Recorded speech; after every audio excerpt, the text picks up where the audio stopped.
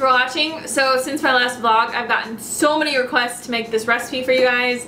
And today we are going to make corn chowder. So a lot of times when I make this, I make it totally different and it really just depends on what ingredients I have. So you don't have to stick to this recipe like 100% or anything. I change it quite a lot every time I make it, but I would say this is probably the best mixture that I've ever come up with. And we have a recipe in our Instant Pot recipe book for bomb.com corn chowder. But today I'm not going to be making that exact recipe. It's kind of like a replica just because of what I have and what I have made in the past that Derek really, really likes. So that is what we're going to be making today. So the first thing that we need for this recipe is two organic potatoes. And I just take these like big russet potatoes from the store because I, I don't know what it is, but I always just buy russets because I just like russets the best. But you know, if you like yellow potatoes or red potatoes or whatever the best, then you can always get those as well. But I'm just using russets because they're cheap and they're big and you don't need like a ton of them. If you were using like red or yellow potatoes, you'd probably need, I don't know, five to six of each. So two large russets or five to six small potatoes. I think the recipe in the Instant Pot book calls for about a pound of potatoes, but the potatoes are really just to act as like a thickener because when the recipe is done cooking, we're actually going to blend it up. So the potatoes will really help thicken the chowder. So next we have a red pepper. You don't have to use this. I've made it without red pepper before. Um, but it just adds like a little bit more flavor. So we're just gonna chop this bad boy up and throw it in there. Like I said, everything is going to be blended at the end. So, you know, it doesn't have to be really precise cuts or anything like that. I would just kind of make it into chunks and then throw it in. If you don't like red pepper, you can definitely leave it out. You can replace it with yellow pepper, green pepper, whatever pepper you like, or you can just totally X-may it. So the next thing that we're gonna need is some onion. I've got half of a white onion here and that's just leftovers, so I'm just gonna chop this up and throw it in. You can also take like onion and garlic and chop it up and saute it in your Instant Pot before as well, but I'm way too lazy for that, so I don't do that stuff. So the next thing that I'm gonna add is a cup of red lentils.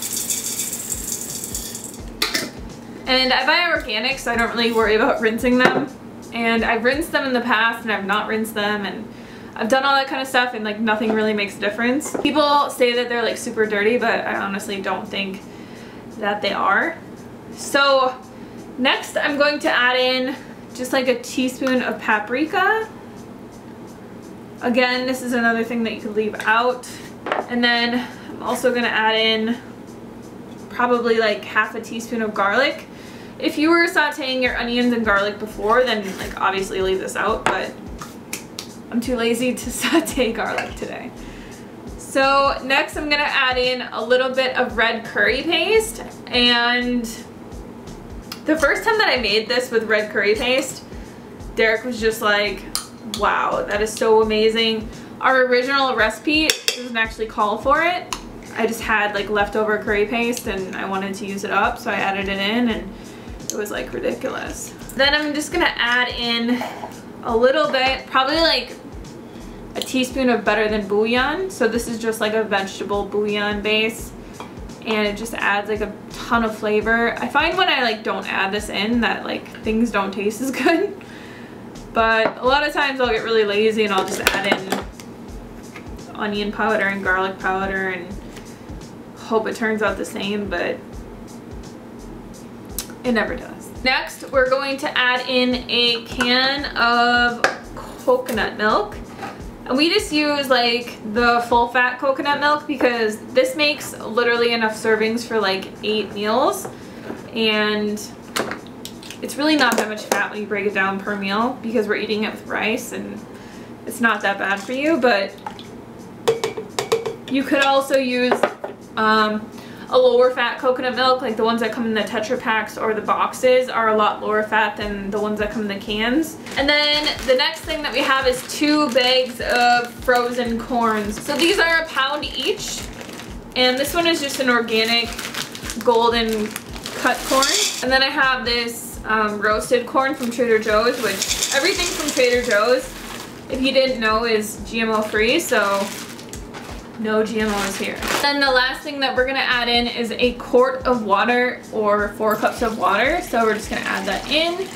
And then we're gonna put this in the Instant Pot for 15 minutes on manual setting and let it naturally release so it will release for about 20 minutes. If you don't have an Instant Pot, you can put this on the stove and bring it to a boil, cover it, put it on like simmer or low and let it sit for about an hour and then take it off and it'll probably be the same but an Instant Pot is just so much faster so that's what I'm gonna be using today. Sorry I just like totally passed out for like the past I don't know hour or so. Ever since I started cycling so much I like pass out every single day and I'm just like so tired. Anyways, now our corn chowder is done. So as you can see, it's like very thick and cooked. So all I do at this point is I take an immersion blender, which if you don't have an immersion blender, you could take spoonfuls of this and put it into your food processor or your Vitamix slowly so that you don't burn yourself and blend it. Um, but getting one of these is like 20 bucks.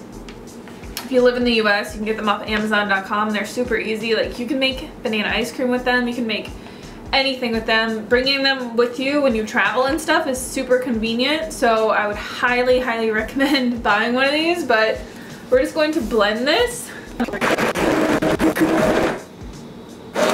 So this is what mine looks like right now. You don't have to blend it until it's like ultra creamy or anything. I kind of like to leave some chunks in it sometimes just because it gives it more texture and more flavor, but let's try this out with some rice. Typically when I eat this, I just eat it over rice. So I just have a thing of brown rice here. You could eat it like as a soup or whatever, um, but it's way, way, way good over rice. Of course I forgot a spoon as well. And then I usually just like to mix it all together. I never add um, like salt to when I'm cooking stuff just because you can't really taste it on the end result and like you might as well just wait and sprinkle a little bit on the top at the end because that's when you can really really taste it so I don't add sodium to my food unless it's like bouillon or something like that. Um, so I just added like a pinch of salt. So good. If you like creamy stuff, if you like cheesy stuff, if you like Mexican type foods or tortilla, tacos, burritos, anything like that, you're gonna love this stuff. So definitely, definitely try this recipe. Let me know what you guys think and I will see you guys tomorrow. Thank you so much for watching. Bye.